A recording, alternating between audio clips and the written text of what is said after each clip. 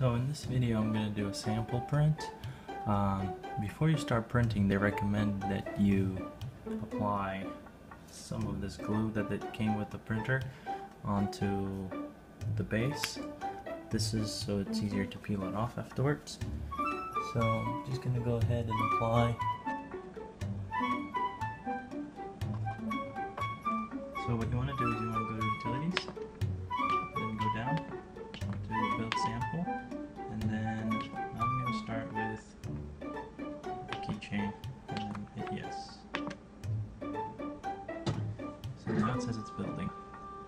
So the very first thing it started doing is making that noise.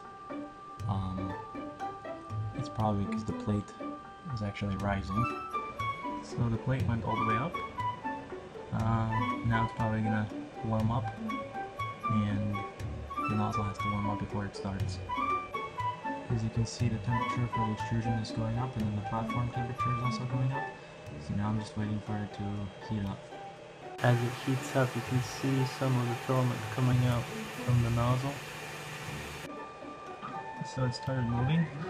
It looked like it was saying out of, it says uh, building auto calibrate in progress, please wait. So it cleared some of the filament off that we saw right over there that was painting in this piece. Looks like that's gone. The head just moved forward. Now move to the left side.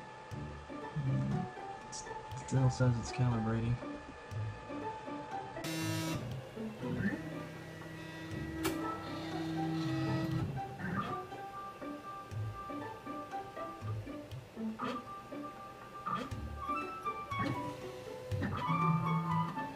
Okay, looks like here it goes.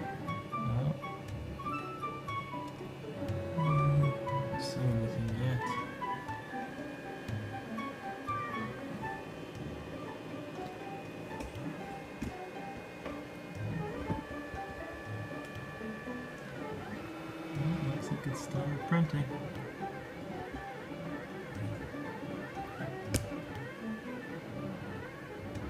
So it started printing. It says estimated time 99 hours 99 minutes, which I don't know if that's right, but we'll, we'll see. Here it is printing from the top. Only like minute into it.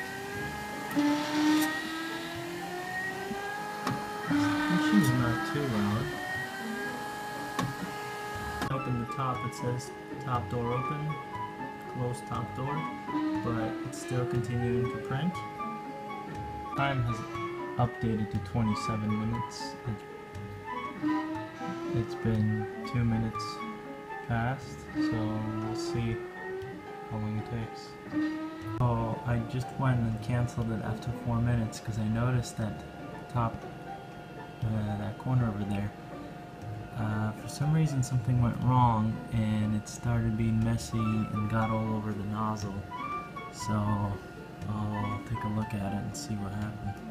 See, something definitely went wrong right over here at the top. You can tell this is why.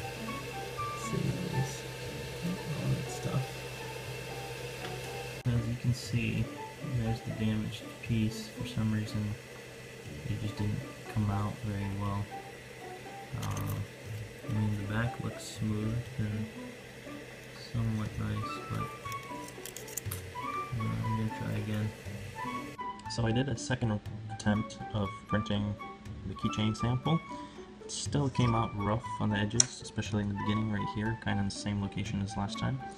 But overall, uh, uh, the top part it actually looks really good. So I don't know if just the initial setup was a little bit off or what it was. Uh, give it a couple more tries of my own parts and then we'll see what happens.